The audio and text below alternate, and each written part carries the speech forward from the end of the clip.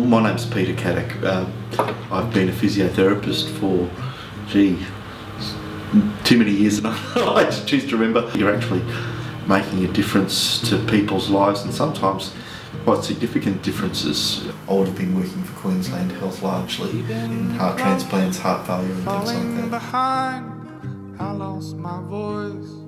Lost a lot of the people who were actually providing uh, assessments in the home to make sure that people stayed out of hospital.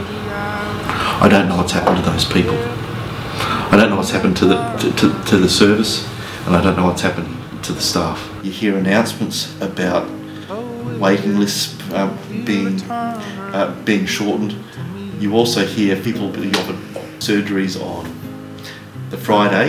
If they don't hear back from them on the Monday, then they go off the list. The people are scared. They're, they're scared for their own jobs. They're doing what they can with less resources. Having appropriate services in the community is vital for, for, for, for basic human dignity. It's not something that you can make a profit from. If people aren't something that you can make a profit from, it's a right.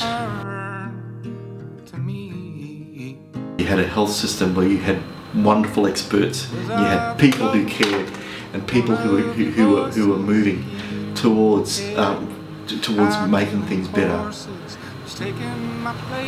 Why haven't you listened to them? Really saddened by what has happened to people within Queensland Health. To be able to provide care to others, you have to care for yourselves and care for each other. How it's been handled in history will be judged very poorly because I don't think we cared enough.